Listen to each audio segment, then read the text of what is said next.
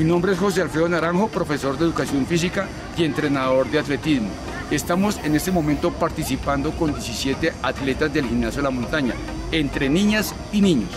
La idea de este festival es poderse dar cuenta cómo un niño y cómo una niña puede lograr manejar tanto su carga emocional como su carga física.